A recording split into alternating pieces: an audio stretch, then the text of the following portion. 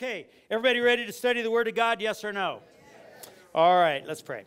Heavenly Father, we love the way you speak to us by your Spirit, and we love the way you speak to us by your Word. And so, Lord, we submit to your Spirit always. And here this morning, for the next 30 or 40 minutes, we submit to your Word to teach us and train us. And Lord, we thank you for the way you inspire us, and the way you lead us, and the way you protect us from temptation, and the way you give us strength so we can overcome temptation so we do not have to fail. And Lord, we thank you for that. In Jesus' wonderful name we pray. Amen. Okay, everybody, this morning, uh, the material that we want to cover right quick is something that most of you have heard before, so I'm not going to belabor it like we did last week. And I don't have to hit it as hard because it's more familiar to all of us, and that is that we are the body of Christ. Now, we're in a series, as you can see in your bulletin, uh, we've already talked about we are his people, we're his portion. We've already talked about how it takes transformation in a personal relationship to be part of the body of Christ, but we can't be part of the church if we stay independent.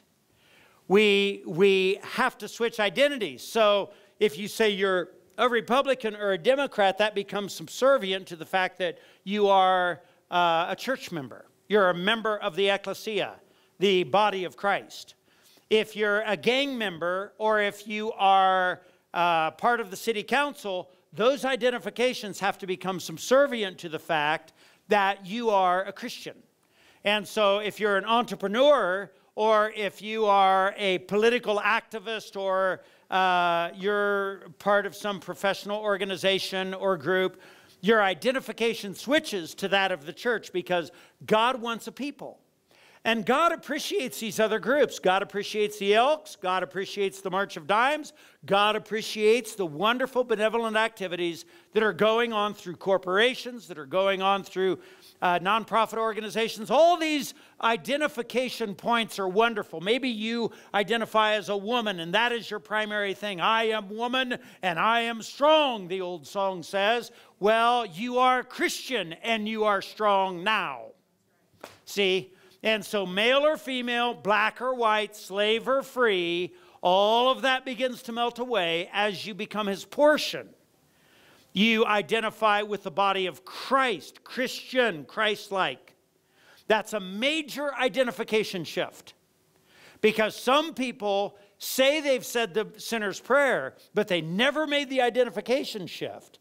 And that, that's a major transfer that just has to happen for us to be what He really called us to be. He did not save you as an individual to be an individual, He saved you as an individual to be part of His portion, to be His team. So we talked about that. Then we talked about how, as a group, we are His governing assembly. And all of us have been taught some way or another in the body of Christ that we have authority in Christ. So we've marched around our bedrooms and our prayer rooms and our prayer closets, exercising our authority. And sometimes we wonder why it didn't have the punch that it was promised to have. And it's because those promises are plural. Those promises, the power promises, are largely for what happens when two or three together gather together in my name. And so there's an identification with the body that has additional power because as a group, we have governing authority.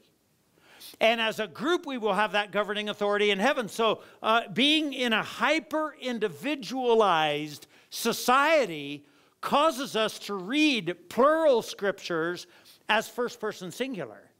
And so, when we should talk about we and what we can do and what we can accomplish, we often talk about I what I want to do, what I want to accomplish, and what I think. All right, so this is a major transition when we realize we're part of a body. Now, every one of you are sitting here in your bodies right now, and your bodies are expressing what's going on inside of you. All right, so you got up this morning, you got dressed, you cleaned up, uh, you got your clothes on, you jumped in the car, and you came here all in your body. So your body expressed uh, your desire to worship, your body expressed your desire to sing, your body expressed your desire to take care of your kids. So you used your fingers, your arms, your legs, your voice. Some of you ate breakfast this morning, and when you were hungry, you fed your body. And all of that stuff you ate this morning is still inside of you. All right? And it is working inside of you. And so if you get angry this afternoon, your body will express it. If you get bitter this afternoon, really bitter, then your body will express it somehow. So, your spirit, when your spirit is stirred up inside of you, your body expresses it through giving, through worship, through loving, whatever. If you get angry, your body will express it. You do what you want to do through your body. And you say what you want to say through your body. Your body is the express mechanism for your spirit, your soul, your mind. So your body is the way you do this. I have this stuff in my heart. I read the scriptures, it gets in my mind and my heart, eh, but on Sunday mornings, I've got to say it through my body.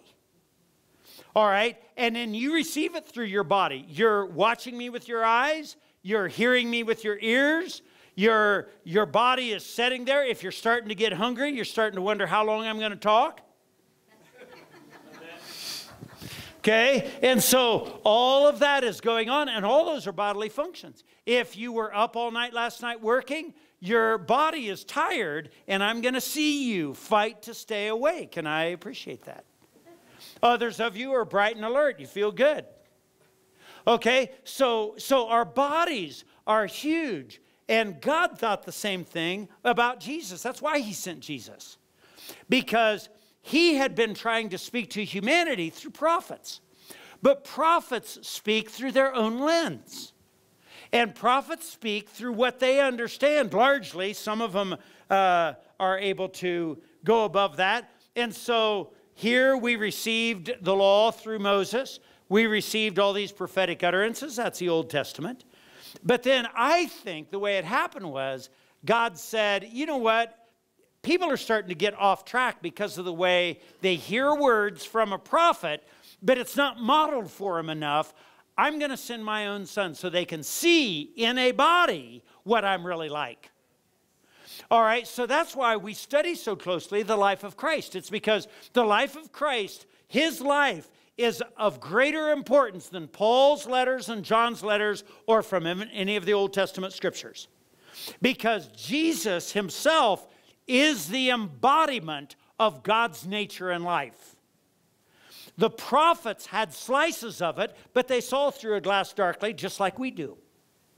All right? And so God sent a body.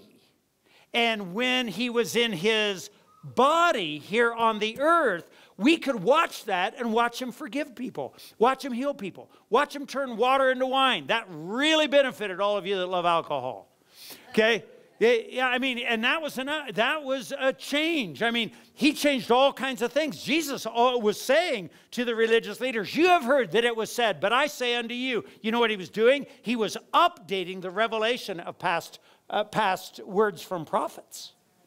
And he was correcting ideas, ideals through his body. What he did was just as important as what he said. We have a lot written down about what he said, but not nearly all he said. And we have a lot written down about what he did. But see, he did it through his body. His physical body here on the earth made the message clearer and clearer to us who are living with a fallen human nature and living with a devil and his demons and bad ideas and all kinds of things going on. So, in Ephesians 1 22 and 23, it says, God has put all things under the authority of Christ and has made him head over all things for the benefit of the church. Here, let's, uh, Lisa, are you close to that? Okay, all right, I want you to see this. God has put all things under the authority of Christ and has made him head over all things. What are these last four few words? For the benefit, read it out loud, everybody. For the benefit of the church. Now, this is the group, it's not you. It is you to the degree that you're connected with the group. Do you see it?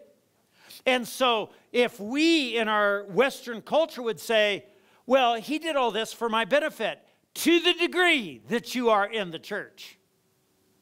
See, and so here's what he's highlighting here God is a triune being. He has three persons Father, Son, and Holy Spirit in perfect relationship with one another. In such perfect relationship with one another, He is one. He's three in one because of the relationship. The Father, Son, and Holy Spirit are all admiring one another, taking care of one another, adoring one another, all that kind of thing.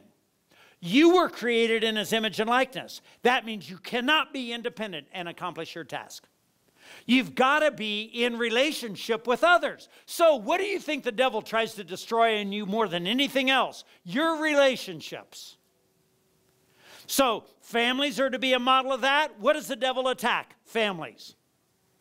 Okay, any team working together is to be a model of that. What does the devil attack? Those relationships, families, churches. Okay, so so he just tries to tear it up. Oh man, you just you look around at the criticism of the church nowadays. But the church has done more good for humanity than any other institution. There would be no hospitals if it weren't for the church. I could go on and on and on with a list of things that the church has done for the world. All right? But notice this Jesus did all this for the benefit of the church. That's a very important thing for us to see. All right? Then the next verse. Look at this. And the church is his, what's it say? Body. It is made full and complete by whom? Who fills all things everywhere with himself. Okay, Christ is the head of the body, like your head is the head of your body. The most efficient way to kill your arms and your legs and your fingers and your intestines and your toes the best way to kill all those would be to cut off your head. It's quick, it's efficient. It's oh, those of you with French descent, you know the efficiency of it. Okay, so so to just lop off a person's head is the easiest way to make your body worthless, dysfunctional, unable to accomplish a thing. So why do you think the word the, the name of the head of the church jesus christ is the most popular cuss word in the world. And why do you think there are massive institutions designed to undo the lordship of jesus and just make religion a good works organization to make people feel better? See the church is his body. That's us. It is made full and complete by christ. Your body gets its direction from your head. And your body works together by your head. Jonathan has some brain damage. He has some chromosomal problems, so his brain doesn't work right. That's why he can't speak normally. But he's got everything he everything you have and you speak normally. But he doesn't get the signals right from his head. All right? And so you see people with brain damage. Gail and I, when Jonathan was up at Triangle Cross Ranch, there was a fella that was in the armed services. When he went into the armed service, he was handsome, he was strong, he was able to do all the things he was uh, needing to do. He was the picture of a strong young man. But something happened to him somewhere, and now he's sitting up there in a bedroom. Somebody dresses him every day. He's very nice, but he can't function because something happened to his head. Everybody, the head of our body is what balances that, that triggers the system so your chemicals are balanced. If you ate too much fat this morning and not enough protein, your, your brain is sending signals so your body will balance that out, hopefully. Okay? And so your body's always doing that. When you go jogging, it's your brain that gives a signal to the heart to raise the rate, cleans out your cardiovascular system a little bit. It does all that. It refreshes you, it empowers you. When you exercise, your head coordinates what goes on in your body. But you see, that happens in a group because every one of your cells affect your other cells and every one of your bones affect the rest of your body. Your fat affects, the fat is the largest organ in your body, and it works all the time adjusting heat, adjusting chemistry, adjusting all kinds of things. If you, if you had no fat, you would be dead. All right? And so every one of us have these different organs in us and they all feed off of one another. And this is very important for all of us that are believers because we've lived in a culture that says, I am me and I can do this and I am strong. And so, because of it, we've started to look at church as an entertainment institution and we just go to the hottest speaker or the hottest moment or the hottest this or the hottest that. And we actually think it's our organization but it is not. And so when it says, and the church is his body, it is made full and complete by Christ who fills all things everywhere with himself. My body is receiving electrical impulses and chemical adjustments as I'm giving this talk right now. And imagine what the church would be like without Jesus as the head. That's why in this church we sing the old songs that still talk about the blood of Jesus. We sing the songs that talk about Jesus as the head. We worship the Lord Jesus because he is the head of the church. If Jesus is not the head, it is not the church. It may be an organization, but it's not the church. So we relate to the whole world through our bodies. God relates to, through, to the world through his body. It is through our body that we get things done. It is through Jesus' body that he gets things done. Okay? Christ relates to the world through his body. We relate to the world through our bodies. We are the instruments by which the works of redemption are available to the world. Now, let's talk about Jesus' body just a little bit more and then I'll move on. In Hebrews 10 5 through 7, notice this. That is why when Christ came to the world, he said to God, You did not want animal sacrifices or sin offerings, but you have given a body to offer. You have given me a body to offer. This is Jesus knowing why he was here in the body. One of the reasons why he had a body. You were not pleased with burnt offerings and other offerings for sin. Then I said, Look, I have come to do your will, O God, as is written about me in the scripture. So you see, Jesus' body sacri- sacrificed opened the door, follow this, everybody, for us to become his body. Jesus, this, this passage shows that Jesus was on earth not to condemn the world, not to bring judgment on the world, but to redeem the world from our sins. And in order to do that, he had to give his body away. Now, here's where I'm going to go with this. He had to do that on the cross in order for our sins to be forgiven so that we could have redemption. You have to give your body away to get redemption to our world. Jesus had to sacrifice himself, his body, on the tree for us to be redeemed. We have to sacrifice our body on the altar for the world to be able to see Christ. So now let's talk, let's go back now, talk about Jesus' body. It was the physical body of Jesus that became his sacrifice. And, and it's the body of God's collective people on earth that still continues and completes his ministry. Are you following this? When we glorify the fact that Jesus gave himself on the cross, you have to identify with that and give your body away so that others can be redeemed. Does that make sense? Jesus suffered on the cross. You've got to suffer on an altar. Romans 12, verses 4 and 5. You're familiar with this already. Here it says, just as our bodies have many parts and each part has a special function, so it is with Christ's body.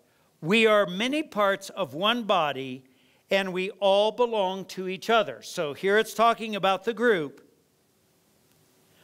And then it says, The human body has many parts, but the many parts make up one whole body.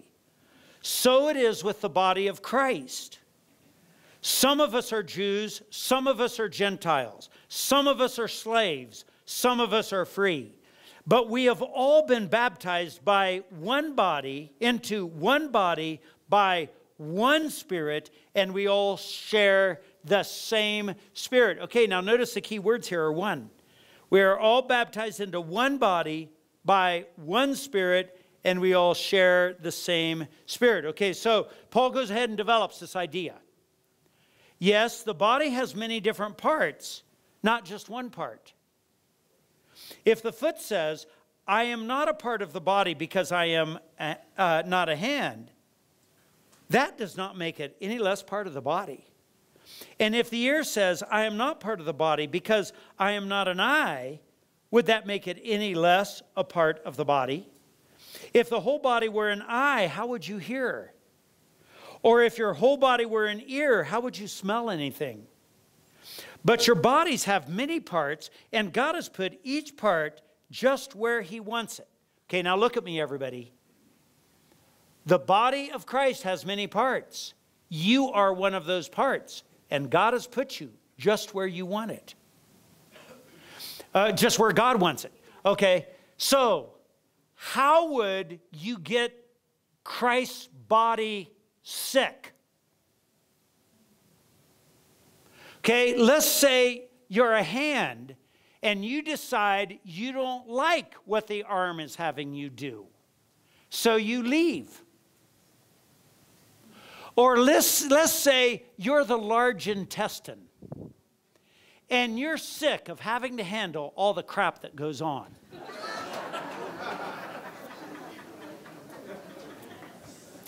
I don't know if you've ever known anybody that had their large intestine removed. It's not good. It's a tough life. There's a whole different dimension if we don't have a way of, all right, let's say your sweat glands, and you say, this job stinks. Without your sweat glands, you'd be dead pretty fast because you'd overheat. You would have to be in a very controlled position. You would not be free to be out and about like you are right now. All right, so let's say your sweat glands leave or your large intestines leave. Let's say your what? Your leg decides, I'm not carrying the weight around here anymore. You see it? Can you name a part of your body you'd love to get rid of and that you could functionally normally with? You can't because we're totally interdependent. If my large intestine's working properly, every other cell in my body feels better. If my stomach and esophagus is working properly, every, every other part of my body feels better.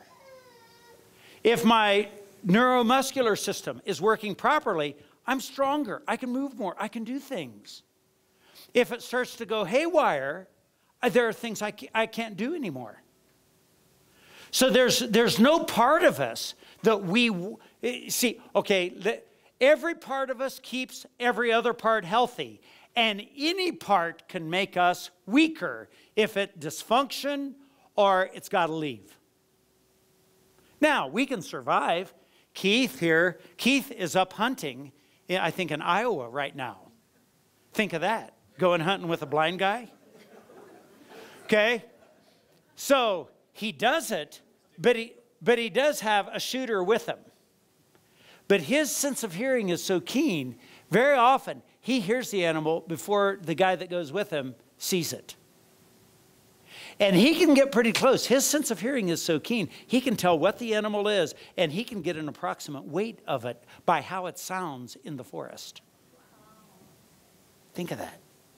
That's Keith. He sits right over there. He knows more about you than you think. okay?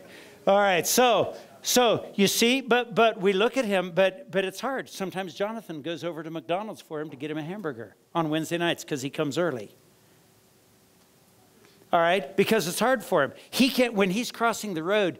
If he doesn't know the time, he doesn't know if it's dark or light. So he, it, so when it gets to be wintertime, if he's not watching the clock, he may be crossing the road out here, assuming people can see him. But it may be dark outside because it's five o'clock or 4:45. So all the rest of his organs have to try to compensate for the loss of his eyes. In your eyes, there are roughly five million parts interacting with one another. Why don't you build something in that little space?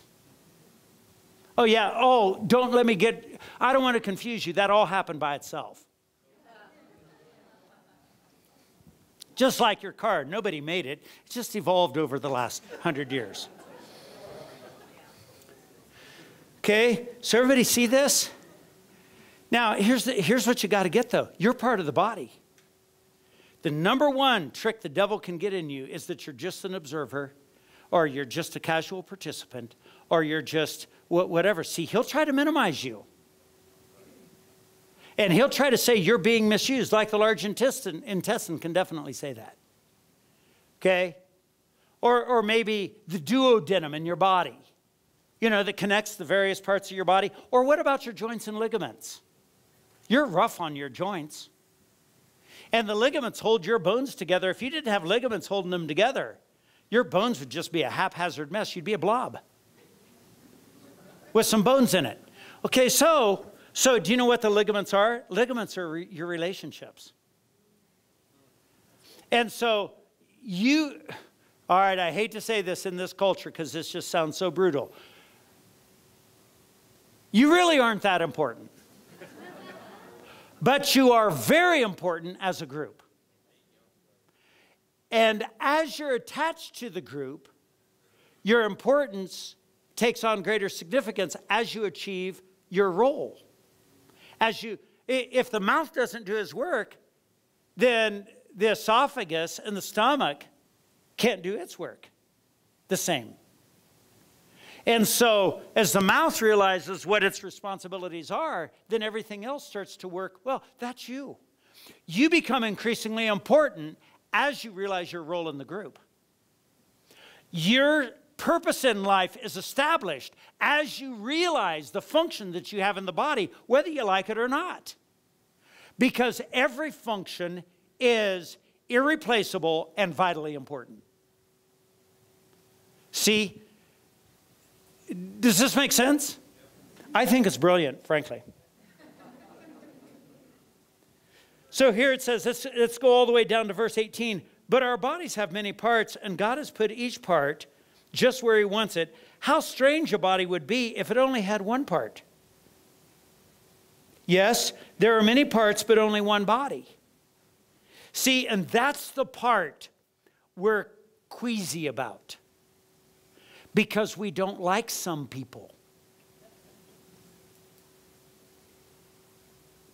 See, so so that's where we've got to get beyond ourselves.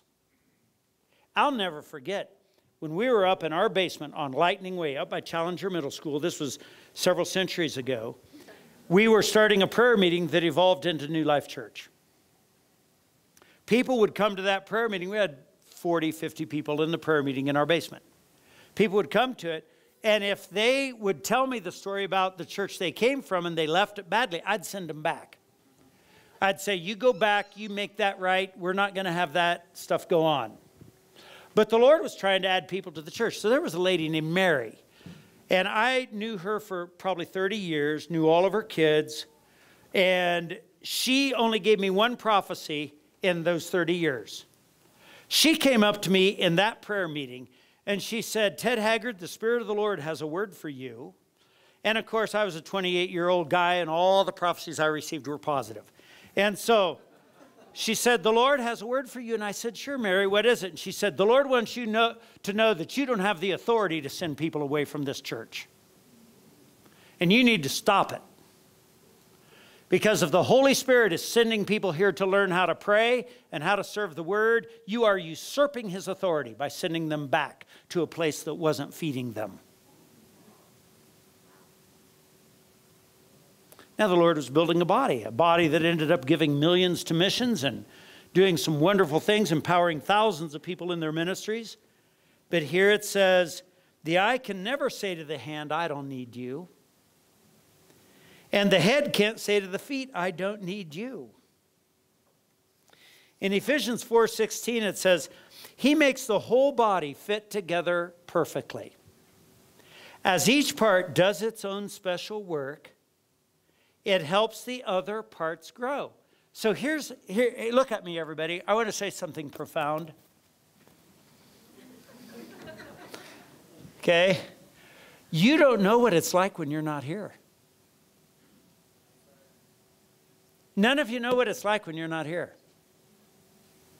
And for the majority of you, it's better when you're here. That was a joke.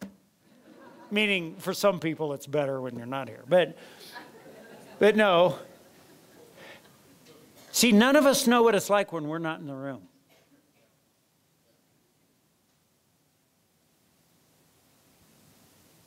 So, if this verse is true, is the Bible true? You tell me. See, that's the problem that the Bible's true. He makes the whole body fit together perfectly. As each part does its own special work, it helps the other parts grow. Is that true or false?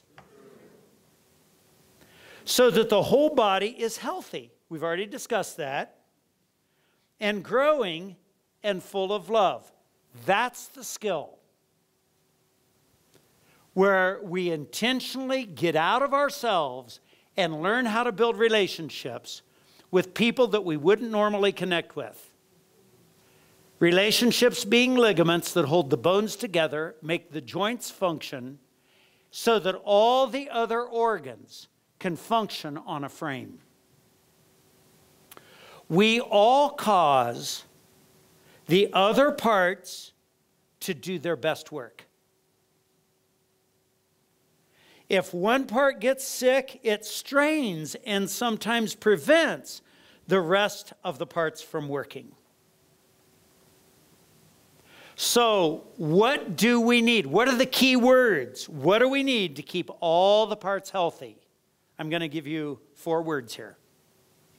One, obedience. I know that's the most popular word in America today. Obedience. You know what concerns me? One of the things that concerns me about America today is the fact that we are glorifying rebellion. And that rebellion is as the sin of witchcraft. Here's the parallel witchcraft is the soliciting of demonic forces in order to manipulate somebody else. Rebellion is the soliciting of demonic forces in order to manipulate somebody else. And so it starts just with obedience obedience to the head. So if something in my body is saying it needs more insulin now, or it needs more of whatever now, the, the part responds and that happens, so I don't need an artificial device to try to make it happen. So, obedience, simple obedience. Then another real popular word submission. So, submission to the head and to one another. The heart is sending out signals. You know, now we're learning that all of our cells have a little brain in them, and they're all interdependent, sending signals to each other. So, your fat's sending signals to different parts of your body, and your uh, legs are, and your bones are, and all, all these signals are going on in your body that are just incredible to make it so everybody works well. And the third word is willingness willingness. Fourth word is availability. These four words, they may be worth you taking note of, of, of just obedience, submission, willingness, availability. Obedience, submission, willingness. Okay, name one corporation that could produce a good or a service without those four ingredients. Name one, those of you in the military, name one team that could successfully accomplish a mission without those four ingredients. Okay, for those of you on city council or serving some way or another, uh, try to, try to have a home without these four ingredients. How are you going to decide what you're going to have for supper? And can everybody veto it? And so it's just simple obedience, submission, willingness, and availability. It says,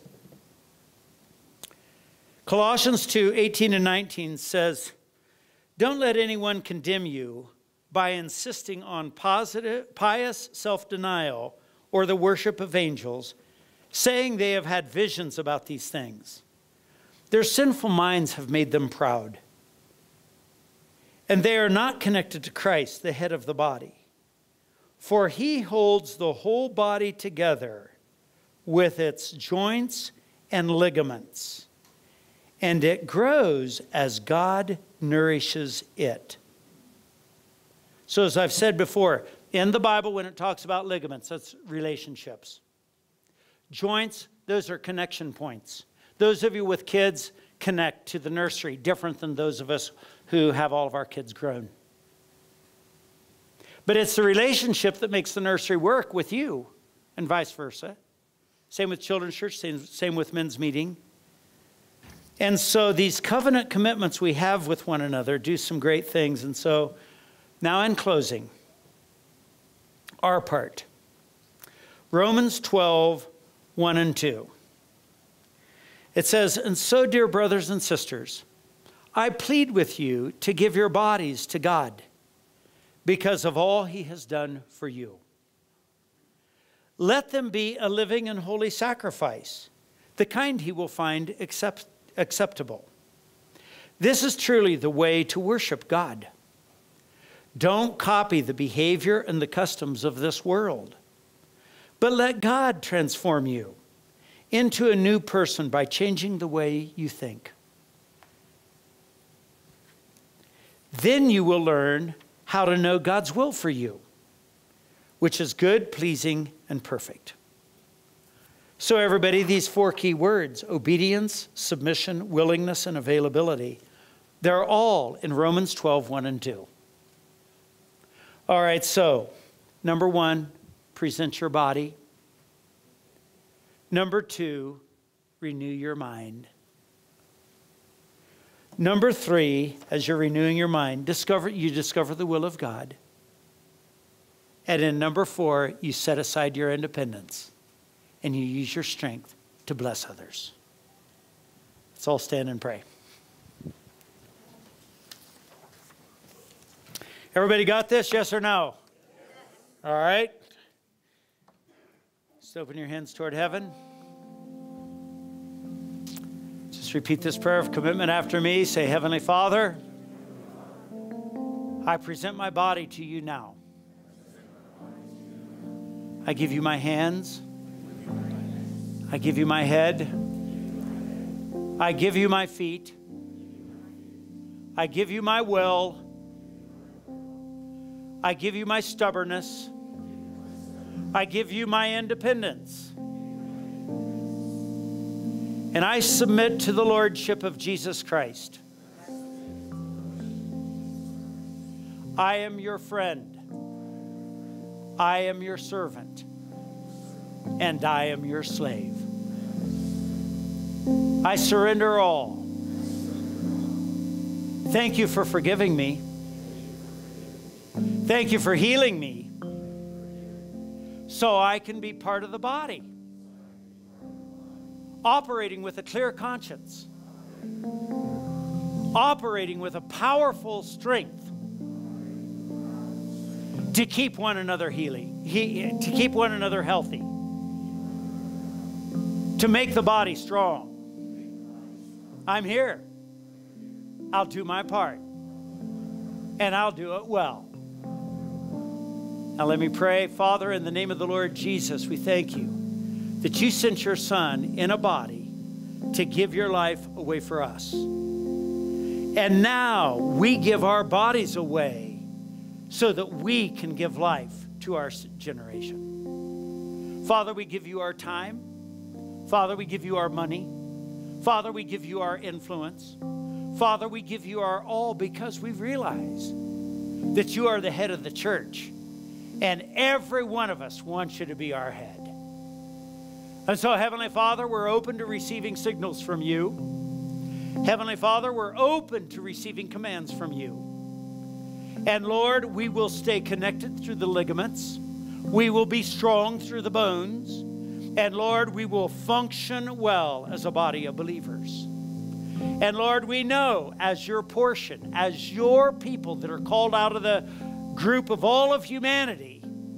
As your people, we know that we are your governing assembly. We know that we are your ambassadors. We know that we are your representatives. And so, Heavenly Father, in the name of Jesus, we celebrate that. And that makes us look at one another and love one another more.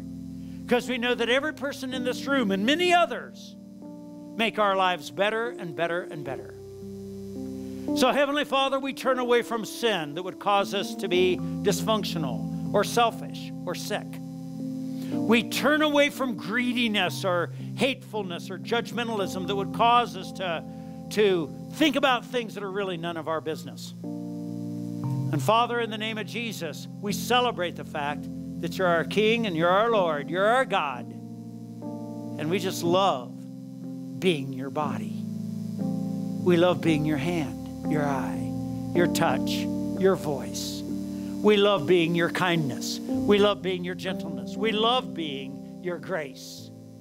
We love being your emotions. We love being your hand extended. We love being your favorite. Lord, we love being your body. Thanks for choosing us. Thank you for pulling us out of the group.